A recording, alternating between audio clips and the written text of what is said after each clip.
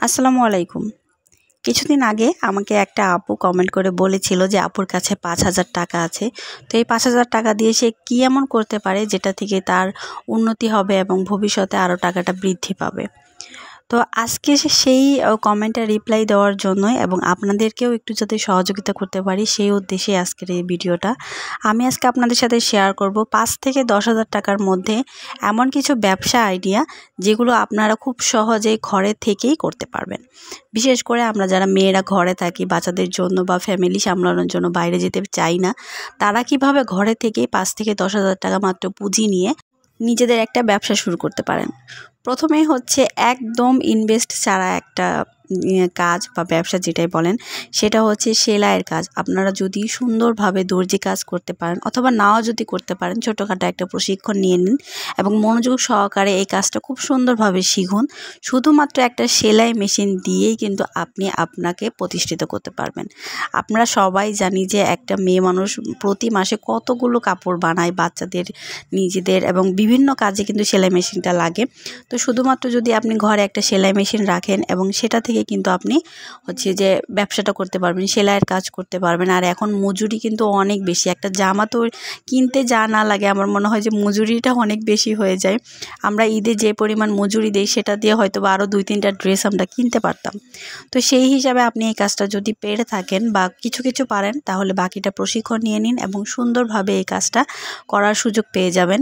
সেলাই কাজে শুধু আপনার দক্ষতাকে কাজে লাগাতে হবে, সেই সাথে অল্প কয়েক টাকার সুতা বা যদি যদি একটু ডিজাইন করতে চান, সেই ক্ষেত্রে হয়তো বা বুতামের প্রয়োজন। এই ধরনের জিনিস ছাড়া কিন্তু খুব একটা বেশি কিছুর প্রয়োজন হয় না। তো সেলাইয়ের কাজটা আপনি কিন্তু খুব সহজে ঘরে বসে থেকেই করতে পারবেন এবং মাসে এখান থেকে প্রায় দশ থেকে পনেরো হাজার টাকাও আপনি ইনকাম করতে পারবেন। দ্বিতীয় যে ব্যবসার আইডিয়াটা আমি আপনাকে বলব, সেটা হচ্ছে এই যে এখন আমি যেটা করছি, সেটা হচ্ছে রান্না। আপনার হাতের রান্না যদি খুবই মজাদার হয় ফ্যামিলির সবাই অনেক পছন্দ করে, সেই সাথে আপনি যাদেরকে খাইয়ে আনন্দ পান, আত্মীয় স্বজন বা তারা যদি রিভিউ দেয় যে হ্যাঁ আপনাদের রান্নাটা সত্যিই অনেক ভালো, সেই ক্ষেত্রে কিন্তু আপনি ফুড পান্ডার সাথে অ্যাড হতে পারেন। সেই আপনার যে দারুণ দারুণ রেসিপিগুলো আছে, সেগুলো আপনি ট্রাই করতে পারেন এবং সেই রান্নার পোস্টগুলো দিতে পারেন ফুড পান্ডায় সেখান থেকে কিন্তু আপনি ঘরে বসে থেকে আপনার খাবারগুলো ডেলিভারি করতে পারবেন। আর যদি আপনি শহরের দিকে থেকে থাকেন যে ওই সাইডটাতে আপনার সাইডটাতে হচ্ছে যে, অফিসিয়াল অনেক অনেক অফিস আছে, যেগুলোতে হয়তো বা দুপুরের খাবারগুলো আপনি ডেলিভারি করতে পারবেন। তো সেই ক্ষেত্রে কিন্তু আপনি রান্নার দক্ষতাকে কাজে লাগিয়ে আপনি ফুড পান্ডা বা বিভিন্ন প্রকার এই রান্নার সাথেই যুক্ত হতে পারেন এবং আপনার রান্নার শিল্পকে কাজে লাগিয়ে আপনি কিন্তু ভালো মানের একটা টাকা ইনকাম করতে পারবেন প্রতি মাসে। এরপরে চলে আসি মশলা। আপনি যদি কর্মঠ হয়ে থাকেন, কাজ করতে পছন্দ করেন, সেই ক্ষেত্রে হচ্ছে আপনি বিভিন্ন ধরনের মশলার এই কাজগুলো করতে পারেন। এগুলো করার জন্য কোনো প্রশিক্ষণের প্রয়োজন নাই বা সুদক্ষ রান্নার শেখারও প্রয়োজন নাই। আপনি এগুলো না করলেও কিন্তু মশলার এই ব্যবসাটা করতে পারবেন। সেটা হচ্ছে যেমন মরিচ গুঁড়া আমরা রান্নায় ব্যবহার করি, ধনে গুঁড়া, জিরে গুঁড়া, সজের গুঁড়া হলুদের গুঁড়া, এই জাতীয় গুঁড়া এবং মিক্সড কিছু মশলা আছে যেমন বিরিয়ানির মশলা, তেহেরির মশলা, খিচুড়ির মশলা এই মশলাগুলো যদি আপনি হচ্ছেন যখন মৌসুম থাকবে এই সব জিনিসের, সেই সময়টা কিনে রাখলেন স্টক করে রাখলেন এবং পুরোপুরি ধুয়ে পরিষ্কার করে শুকিয়ে রেখে পরবর্তী সময়টাতে আপনি প্যাকেটজাত করে এটাকে সেল করেন। প্রথম অবস্থায় প্যাকেটজাত নাও করলেও আপনি বয়ামে করে কিন্তু বিক্রি করতে পারেন। এখন আমাদের প্রত্যেকটা দেশে আসলে সব মানুষ দেখা যায় অর্গানিক জিনিস খেতে পছন্দ করে। সেই ক্ষেত্রে এই মশলাগুলো কিন্তু আমরা দৈনিক ব্যবহার করছি। তো বাজারে কেনা মশলা কেমন হবে আমরা কেউ জানি না। আপনি যদি ভালো মানের মশলা তৈরি করতে পারবেন এবং এই মশলাগুলো যদি আপনি বাজারজাত করতে পারেন। ফেসবুক বা ইউটিউবের মাধ্যমে ভিডিও দিয়ে পেজ খুলে। সেক্ষেত্রে কিন্তু দেখা যাবে আপনার সেল অনেক বাড়বে। যেহেতু এটা অর্গানিক আপনি নিজে শুকাচ্ছেন, নিজে ধুচ্ছেন এবং মেশিনে গুঁড়ো করে নিয়ে আপনি এটাকে সেল করছেন একদম অর্গানিক উপায়ে। সেই ক্ষেত্রে কিন্তু আপনার এই জিনিসটার উপর মানুষের অনেক নির্ভরতা আসবে এবং আপনার বিক্রি বৃদ্ধি পাবে। কীভাবে কি ধরনের সেল করতে পারবেন সে সেগুলো যদি জানতে চান অবশ্যই আমাকে কমেন্ট করে জানাবেন। আমি নেক্সট ভিডিওতে আপনাদের চেষ্টা করব সেই বিষয়ে তথ্য দেওয়ার জন্য।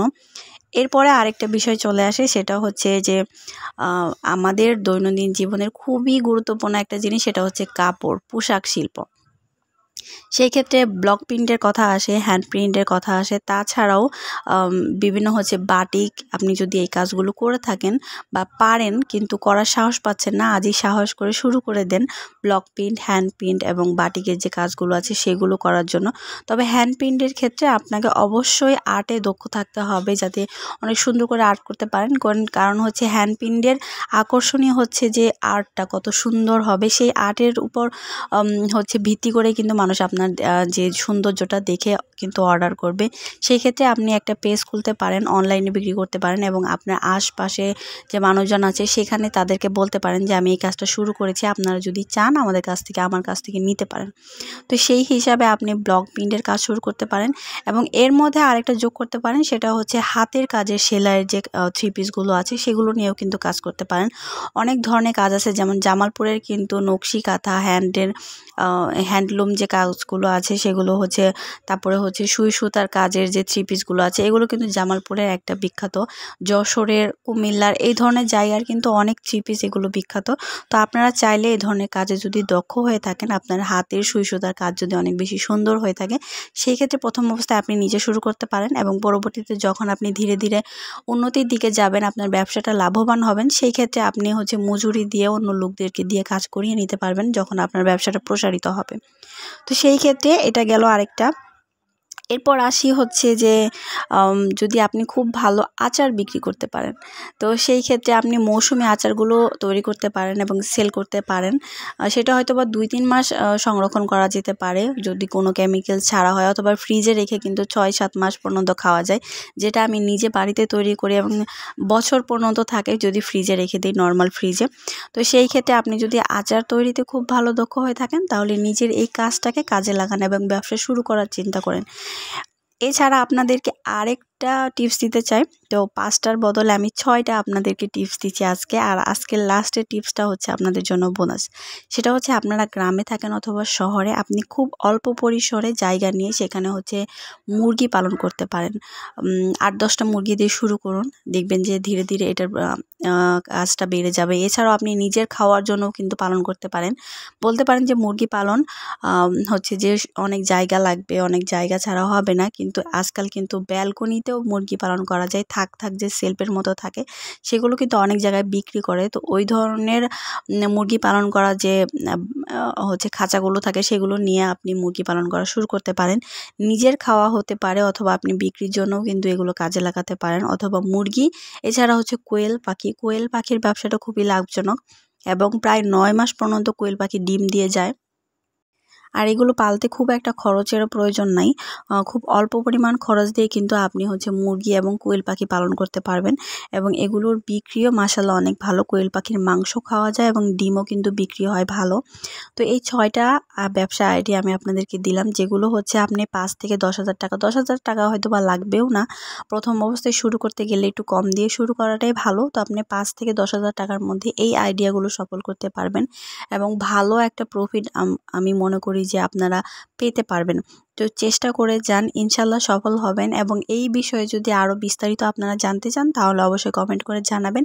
আমি চেষ্টা করব আপনাদেরকে বিস্তারিত জানানোর জন্য। আজকের মতো এই পর্যন্ত। সবাই ভালো থাকবেন, সুস্থ থাকবেন। আল্লাহ হাফেজ। আসসালামু আলাইকুম।